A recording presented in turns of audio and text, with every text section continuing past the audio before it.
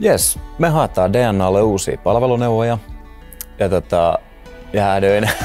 tota, No niin, tässä työssä äh, parasta on se, että pääsee kehittymään jatkuvasti. Tässä voi laajentaa omaa teknistä osaamistaan ihan hirveästi, mutta myös vuorovaikutustaitoja. Parasta on ollut siis työn monipuolisuus ja etätyömahdollisuus. Se tuo vapautta siihen jokapäiväiseen tekemiseen, niin se on ehdottomasti semmoinen, mikä mulle merkitsee paljon.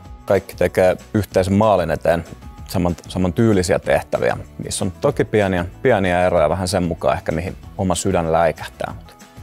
DNAlla on hyvä pohjapalkka ja sen lisäksi täällä on mahdollisuus tienata omalla aktiivisuudellaan. Sitä onnistumisia kokee oikeastaan niin kuin päivittäin.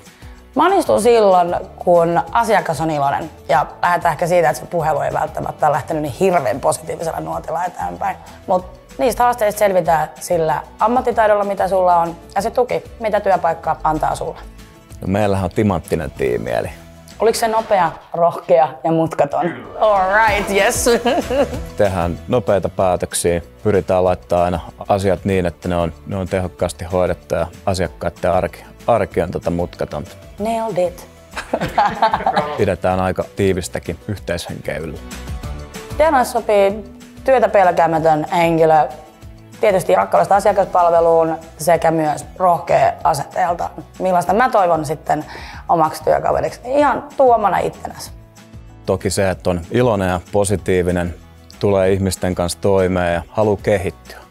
Ja tuosta ovesta kun astuu sisälle, sä näet ne mukavat työkaverit, hymyileviä ihmisiä.